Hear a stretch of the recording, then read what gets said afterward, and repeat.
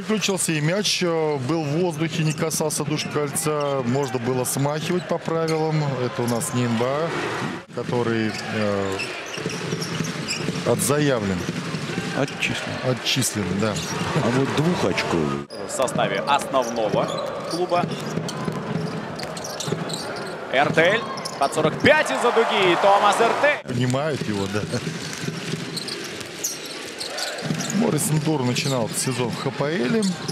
Ты, хорошие поменялись очень легко, но и латонцев. В последних матчах все игры один в один против маленьких он закрывал. Эту дуэль он проиграл. Но он вообще защищается хорошо. Демчик пробивает заслон, но все равно паст идет на Хантера. Каравайт не успевает. Легкой рысью отступает. Эртель требует заслон. Ему заслон ставят, и он атакует. И где Барфор? В чужом щите. Сейчас забить еще должен по, по закону жанра.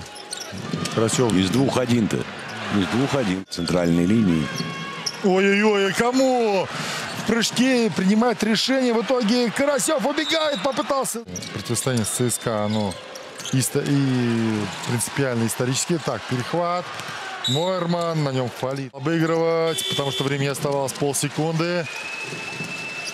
Какая передача! И маленьким 3-4 других выиграл. То есть э, здорово, когда у тебя в команде большой и вообще не боится команда меняться.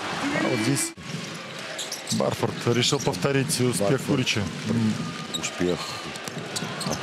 Неужели забьет? Забил. Пока 5 у меня и Да два не. перехвата. На дабл-дабл пока не, не идет. Ну, вот он сыграл 20 минут в матче, Томас Эртель, да? Некому. Хороший подбор. Кирилл. В одном Стабильно. прыжке. Да. Ой-ой. И снова передача, и снова соскок. Эртель уже на семи передачах. Дайте еще раз мяч Эртелю. Пожалуйста, еще один навес. Восьмая передача Эртеля. Эртель ждет кого? Курича, по-моему. А может быть и трехочковые. Всё, сам.